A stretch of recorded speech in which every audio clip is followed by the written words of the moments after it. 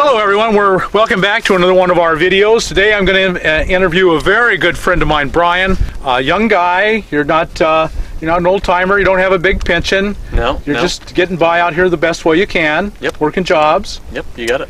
And the one thing we're really going to want to focus in on today is uh, he's towing a car. And so the question comes up, should you tow a car? And we're going to talk to Brian because he's been doing it. So Brian, uh, why are you towing a car? What was your motivation? Uh, well, the first four five months, six months that I was out on the road, I just had the motorhome, which is a 23 foot Class C.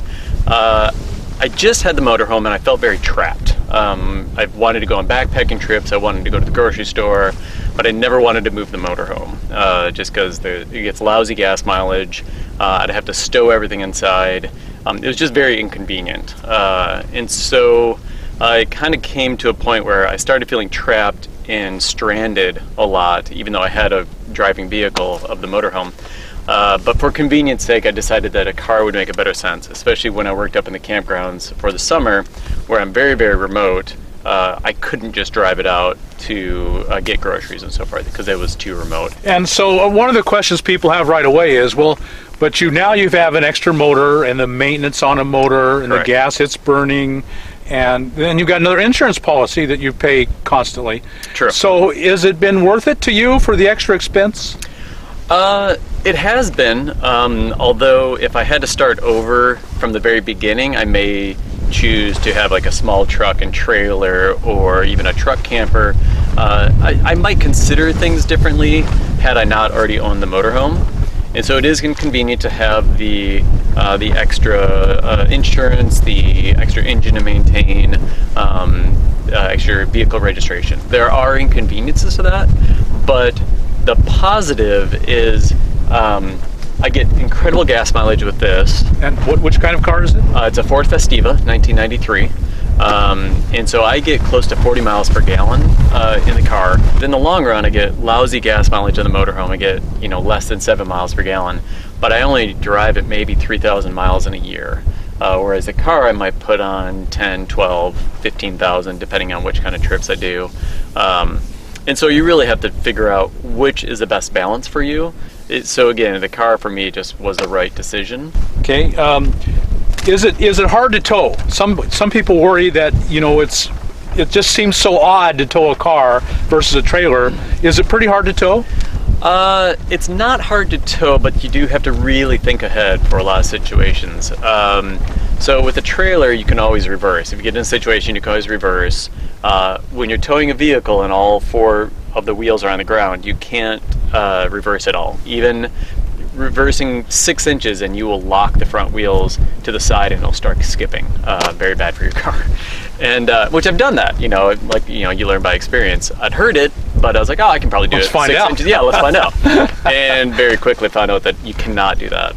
So in a way, because it's such a pain in the butt to to dra- drag the thing all around the country, that actually slows you down and keeps you in one place more more, and then you drive the car more. Correct. Yeah. So, and, and part of it is that um, I mean, I could drive, you know, all over the place if I wanted to, uh, but uh, It's a pain in the butt. It's it is well mostly it's the gas prices, right? You Right. Know, it's, it's it's um so it's not the inconvenience of towing. It's just uh, you know it costs a lot of money in gas if I just drive the motorhome. So I'd rather usually stay in a location and then use the car to go get groceries, go explore the area.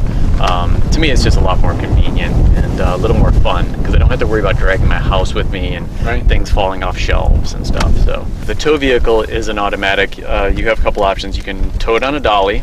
Uh, you could also get a. Um, it's a transmission pump essentially that circulates the transmission fluid throughout it while it's towing.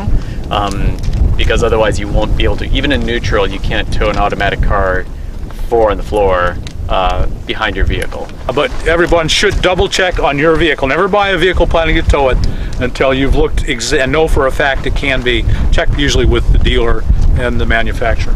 The bottom line is for you, it was a great decision. You have no regrets. Correct. Yeah, Yeah. I, I love it. It's been a very, it's been a car. It's been a great car for me. Some might, people might worry that uh, it would restrict them and they would see less of the country because they don't move very often. Mm-hmm. But your experience has been you see more of the country because you can get there 40 miles to the gallon. Correct, yeah. So I'll, I'll go to a place and then I'll park the motorhome and then I can spend the next two to four weeks exploring an area, you know, driving, you know, within, let's say, 40, 50 miles of where I'm camped, uh, which gives you a pretty good, good range, good travel range. Okay, well, so now the big question a lot of people have, and a lot of what are you going to watch this for, is how hard is it to hook up? I mean, is it a big, complicated process? Can the average person do it?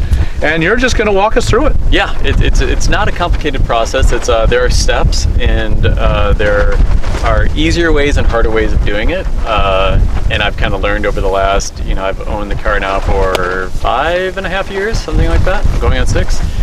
And so I've learned, you know, it took me the first couple years just to figure out some little tricks, but uh, but in the long run, it's it's pretty simple. It might it'll take, you know, I don't know, five minutes or so to, to hook up, um, uh, and, and, take less to take down. But it's uh, you, you, start learning what what works, and the the biggest thing is having a flat surface to unhook on is the best scenario. All right, so I'm gonna actually show you how to unhook uh, the vehicle first, um, and then we'll go through and hook it back up. But the first thing that I want to do is I want to put the car in park uh, to make sure that if I am on any kind of slope, I want to make sure that it's not going to roll away on me when I unhook it. Uh, one thing to keep in mind is when you're towing a vehicle, you have to make sure the steering wheel stays unlocked uh, because uh, the, basically the front wheels follow your path. So you have to make sure you actually have, most cars you'll have to have a key in the ignition and it either on accessories or just in the ignition, but you just want to make sure that the steering wheel doesn't lock on you. And so my, when I'm towing, the key is in the ignition. In the well, does that car. run the risk of draining your battery? Uh, mine just happens I don't have to have it on accessories. Um, mine will not lock as long as there's a key in there. You'd have to check with your own, okay, uh, but if your accessories are on, even if it's on for a couple hours, you probably wouldn't drain your battery if you don't have the radio and stuff on. Right. Um, but something to consider. Something to be aware. Yeah. So now what we want to do, the first thing we'll do is unhook the lights, which is just this uh, right here. This. Just a standard four-way yep. light. Harmony. Yep. There we go.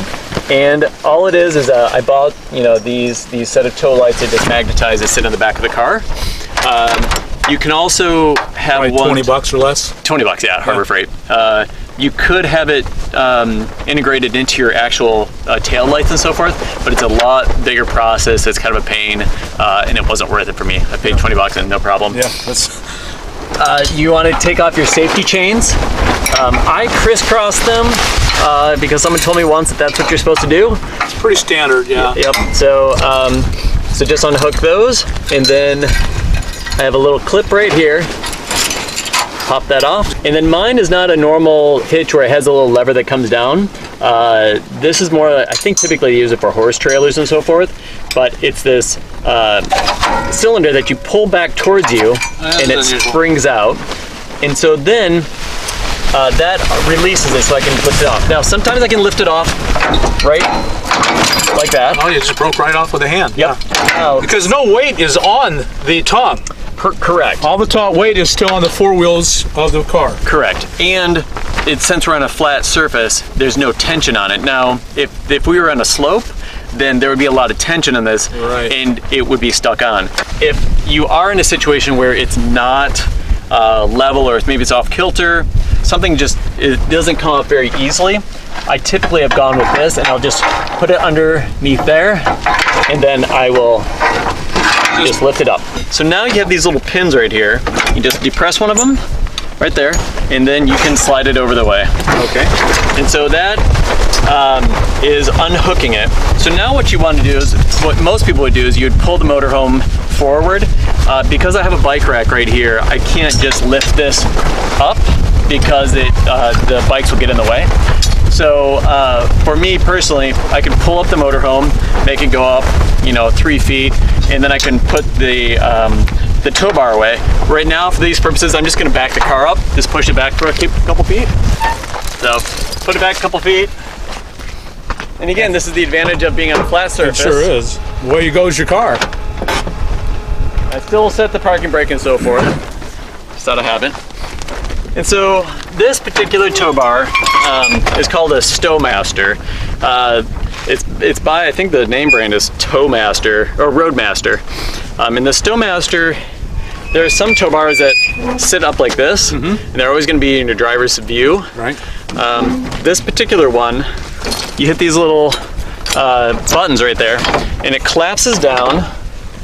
This slides Oh yeah, I've seen you do this. it slides over, and then it folds down nice and neat against the front of your car. These things are a little expensive. New, I think they run maybe $600 or so. I put, I happened to get this one on eBay for maybe 150, so I got quite a deal on it. Um, and the tow bar itself comes with just the tow bar, and then these base plates, what they call them. This is what actually hooks onto your car, and so those would be uh, model specific. So you'd buy those, attach them to the front of your car, and then the tow bar itself slips over uh, the little nipple right here and secures it. And that's essentially, um, so the, the Stowmaster will fit any car. The base plates will change from car to car. So it was like uh, 200 bucks for you to get ready to tow. Yeah, maybe 250, by, 250. the, by the time everything was said The and done. lights and Yeah, so um, so it wasn't too bad. If you have to buy one of these new, the the tow bar is quite a bit more expensive, um, but you can usually find them, and they're still worth it. I mean, it's such a great deal. To begin with, you know, we would just again fold this out, spread it into a A. goes right along that bar, and so now, again, what you would do because this gives you a little bit of flexibility um, when you extend these you can you can gain probably eight inches or so um, but what I do is I put it all the way in and for most people maybe they want to just then back up the motorhome Right. uh, maybe you know the three feet for today just for ease I'm just gonna pull it ahead because it's light and I can do it I'll stand here and watch. ah that's perfect I'll, I'll supervise. Somebody's So, got it. I put it right there. And then, oh, oh.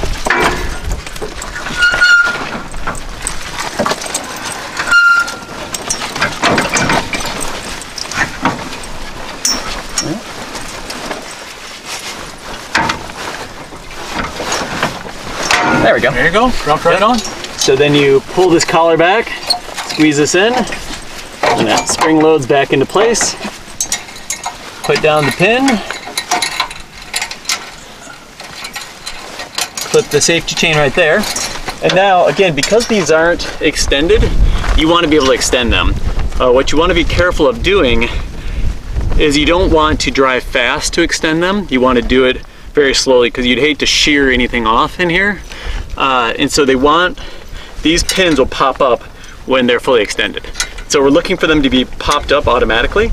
Uh, so again, I can either push back the car until they engage, or you can pull the motorhome forward, just again, very slowly. And you might have to do a couple little turns here and there just to fully extend them. Um, but once it does, then you're fine. So I might drive forward, you know, five or six feet, take a couple little turns, just idling speed, and then get out, double check that they're both eh, engaged upward. For me, I'm just gonna push it back. Oh, there. Obviously, they were locked in. Yep. And so now they're locked in. They won't they won't move. So that's good. So we have the hitch on, we have this fully extended. So now we'll go ahead and put the safety chains on as well. Which is what you would do with every trailer. Just completely standard. And then we'll hook up the lights. Again, everything in reverse.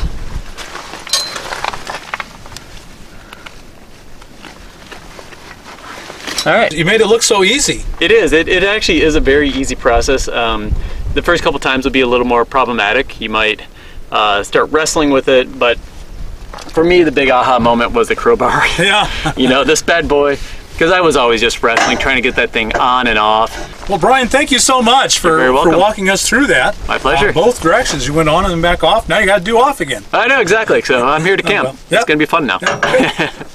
All right. Thanks, Brian. All right. Thank you, Rob. And folks, we'll visit with you later. Be sure to like uh, the channel on, on YouTube and subscribe. Visit with you later.